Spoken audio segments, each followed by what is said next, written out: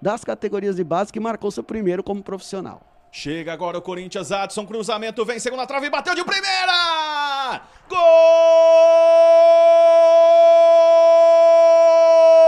do Corinthians! Em mais uma jogada pelo lado esquerdo. Então, só para corrigir e deixar certinho o nome do atacante do, do Grêmio que entrou, é Léo Fenga. Olha o toque de cabeça! Gol!